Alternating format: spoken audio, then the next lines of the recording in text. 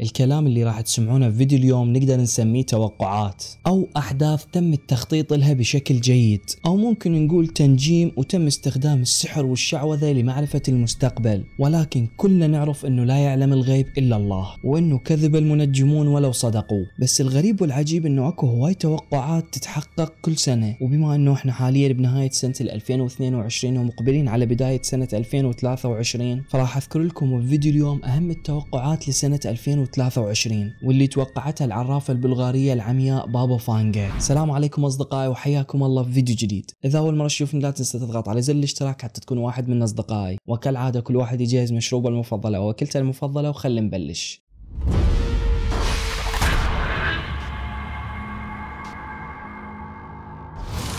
بالبداية لازم تعرفون إنه بابا فانجا ميتة صار لها 25 سنة تقريبا ولكنها قبل لا تموت توقعت أحداث راح تصير بالعالم لحد سنة 5079 تتوقع بابا فانجا إنه بسنة 2023 الدول الكبرى راح تستخدم أسلحة بيولوجية وهذا الشيء معناه قيام حرب عالمية ثالثة. والعجيب إنه هذه النبوءة وكأنها بدأت تتحقق خاصة مع استمرار الحرب الروسية الأوكرانية واللي بدأت يوم 24 فبراير واللي من خلالها فعلا الرئيس الروسي فلاديمير بوتين بوتين حذر من استخدام الأسلحة النووية. لهذا السبب أكو تخوف كبير من تحقق هذه النبوءة خاصة أنه الأوضاع متوترة وماكو اتفاق للسلام لحد الآن. وكذلك بابا فانجا تنبأت أنه أكو آلاف الأشخاص راح يموتون. بسبب أنه أكو دولة كبيرة راح تبدي بإجراء أبحاث على أسلحة بيولوجية على البشر. ولكن مع ذلك لحد الآن اتفاقية الأسلحة البيولوجية للأمم المتحدة حاضرة هذا النوع من التجارب. تسونامي الشمس يضرب الأرض. شنو هذا التسونامي الشمسي يا عبد الخالق؟ العرافة العمياء بابا فانجا توقعت إنه الأرض راح تتعرض لعاصفة شمسية. أو تسونامي شمسي وهذا التسونامي راح يسبب أضرار جدا كبيرة بالدرع المغناطيسي للكوكب. وكذلك هاي العواصف الشمسية اللي تنبأت بها بابا فانجا راح تسبب حدوث انقطاع كبير بالتيار الكهربائي وانقطاع بالاتصالات وهالشي راح يتسبب بعدد كبير من المشاكل بكل العالم. العواصف الشمسية تصير لما يتم إطلاق انفجار للطاقة من الشمس وهالشي راح يؤدي لإرسال شحنات كهربائية وكذلك مجالات مغناطيسية وإشعاع راح يندفع نحو الأرض. والعلماء يقولون أنه هذا الشيء إذا صار فهاي راح تكون اللحظة اللي نرجع بيها للعصور المظلمة. يعني بين قوسين راح ينقطع التيار الكهربائي بالكامل والأرض فعلا تصبح مظلمة تماما وما بيها أي ضوء هجوم أجنبي على الكوكب يقتل ملايين البشر. توقعت العرافة البلغارية العمياء أنه راح يصير هجوم على كوكب الأرض وهذا الهجوم الأجنبي راح يصير لما يتغطى العالم كله بالظلام وراح يؤدي لقتل ملايين البشر. زين لحظة يا عبد الخالق شنو يعني الهجوم الأجنبي؟ حسب العلماء اللي مهتمين بالأشياء اللي تقولها بابا فانجا ذول العلماء قالوا أنه التفسير الوحيد لكلامها هو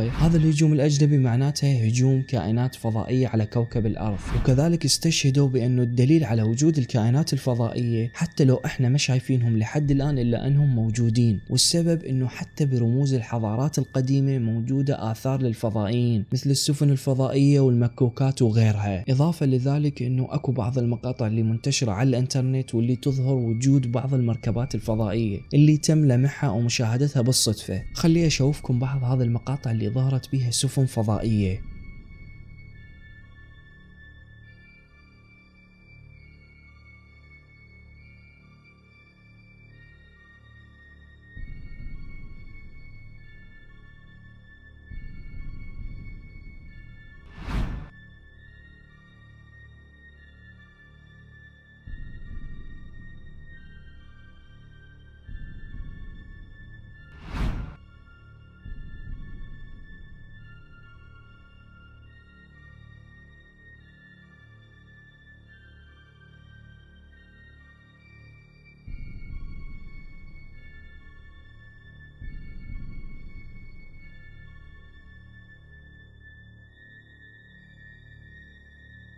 أنتم بعد شفتوا المقاطع حكموا عليها بأنفسكم إذا كانت حقيقية أو مفبركة. لأني بكل صراحة ما أقدر أجزم واقول لكم إنه هاي 100% حقيقة. ولكن هذا اللي انتشر بين الناس بكل العالم. ولادة البشر في المختبرات. ذكرت العرافه العمياء بابا فانجا إنه البشر راح تتم ولادتهم داخل مختبرات شنو معنى هذا الكلام يا عبد الخالق؟ معناته إنه مو الأم تروح لهذا المختبر حتى هناك تنجب ولدها أو طفلها. لا راح تتم ولادة البشر داخل المختبر نفسه. وهذا الشيء معناه إنه الأب والأم راح يقدرون يحددون الصفات الدقيقة لطفلهم. مثلا يحددون لون البشرة مالته ولون عيونه ولون شعره. يعني يتحكمون بكل التفاصيل اللي يردونها بالطفل. وهذا التحكم بعمليات الولادة راح يتم عن طريق العلماء. يعني يجي الأب والأم فقط حتى يحددون ويختارون الصفات اللي يردونها بطفلهم والعلماء هم اللي يتحكمون بهذا الموضوع. وتقول بابا فانجا إنه هذا التوقع المخيف راح يصير لما المسؤولين الحكوميين يضغطون على الناس حتى يتم إنتاج البشر داخل المختبرات.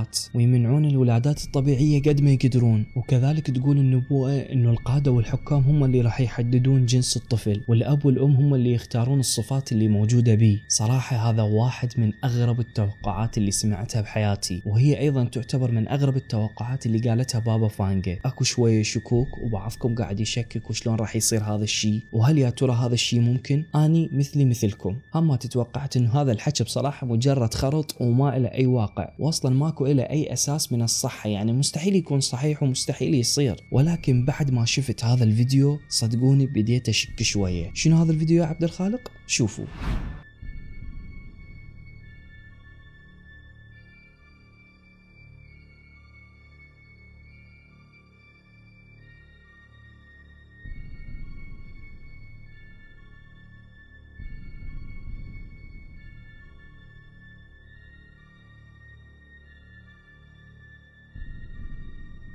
تحول مدار الأرض. قالت بابا فانجا أنه مدار الأرض راح يتغير بسنة 2023 هذا التغير راح يؤدي إلى تغييرات كارثية بالكوكب. لأن كوكب الأرض متوازن وأي تعديل أو تغيير بسيط بتوازنه ممكن يؤدي إلى عواقب غير مرغوب بها مدمرة للمناخ والطبيعة. وكذلك مناسيب المياه اللي على الأرض راح تتغير بشكل خطير. فإذا تحركت الأرض واقتربت من الشمس كوكبنا راح يجي إشعاع أكثر من اللازم وهالشي راح يؤدي إلى ارتفاع درجات الحرارة. وهالشي معناته ذوبان الأنهر الجليدية فمستويات سطح البحر راح ترتفع وراح تصير حالة طوارئ عالمية لمحاولة معالجة هذا التغيير. أما إذا صار العكس تماما يعني إذا كوكب الأرض ابتعد عن الشمس فهنا كلنا راح نعيش بالعصر الجليدي وكذلك كوكب الأرض راح تمر عليه ساعات طويلة من الظلام. لين بالنتيجة ابتعدنا عن الشمس فأكيد راح يقل الضوء وهالشي كذلك راح يتسبب تغييرات كارثية على كوكب الأرض. شوفوا سبحان الله تغيير بسيط لليمين أو اليسار أو خلينا نقول الاقتراب من الشمس أو الابتعاد عنها راح يؤدي لتدمير الحياة بالكامل. فعلا سبحان الله اللي وازن الأرض ووازن الشمس والكواكب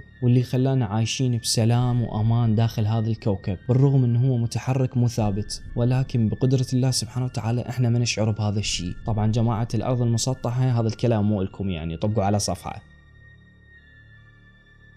مثل ما قلت يا أخوان بابا فانجا قبل لا تموت توقعت أحداث العالم لحد سنة 5079 يعني سنة العشرين والواحد وعشرين واثنين وعشرين منا لحد سنة 5079 هي متوقعة أحداث. واللي تقول إنه هاي السنة اللي هي 5079 هي نفس السنة اللي راح ينتهي بها العالم. هسه يا أصدقاء راح نعطيكم نسبة متأكد راح تصدمكم مثل ما صدمتني. وهي إنه نسبة نجاح توقعات العرافة العمياء بابا فانجا لحد الآن هي 85% يعني 85% من توقعاتها تحققت. اثنين من توقعاتها لسنة 2022 تحققت. هسه أكيد جاب بالكم عبد الخالق لحظة شنو توقعاتها بسنة 2022 يعني هاي السنة اللي فعلا تحققت. التوقع الأول هو حدوث فيضانات بقارة أستراليا والتوقع الثاني هو انتشار الجفاف ونقص المياه. اثنيناتن ذن توقعاتهم بابا فانجا وفعلا صارن. صراحة هاي التوقعات وهاي النسبة مال نجاح توقعاتها فعلا مخيفة وتخلي الواحد يشكك بكلامها. أما الآن فخلينا نجي على توقع العراف العمياء. بابا فانجا للعراق طبعا توقعاتي راح أقراها لكم بالحرف الواحد وأنتم تشاهدون وتسمعون وتحكمون بانفسكم تقول العراف العمياء بابا فانجا بشأن العراق يعني العراق راح يتخلص من كل الطوائف اللي تسعى لنشر الفساد داخله. كما وسيستعيد العراق امجاده وستعود العراق قوية كما كانت عليه في الجوانب الاقتصادية والعلمية. هذا هو توقع العرافه العمياء للأشياء اللي راح تصير بالعراق خلال سنة 2023 واللي على رأسها إنه راح يتخلص من كل أنواع الفساد. هل هذا التوقع صحيح أم غلط؟